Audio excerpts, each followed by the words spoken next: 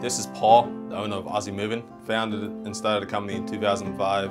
Before that, I had done worked, at a few local companies in town. So myself, I have about 18 to 20 years experience. And I have a few guys on my crew that also have around about the same experience.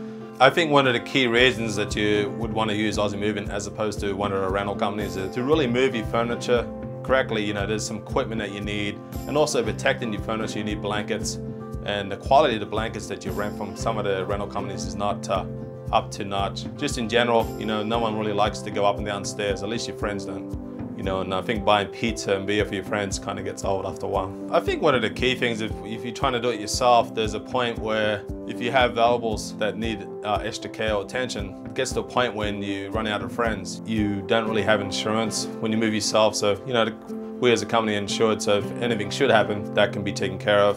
As far as uh, pricing, you know, I definitely try to be competitive. I think I can keep my rates a little lower than the big companies because they don't have as much overhead. I really just uh, want to try to make sure people get a great deal. You know, I'm not going to try to charge for any extra fees, which you know some companies might do for fuel and this and that.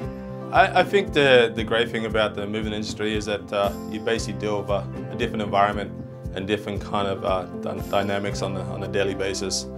And there's nothing more satisfying than having a happy customer at the end of the day.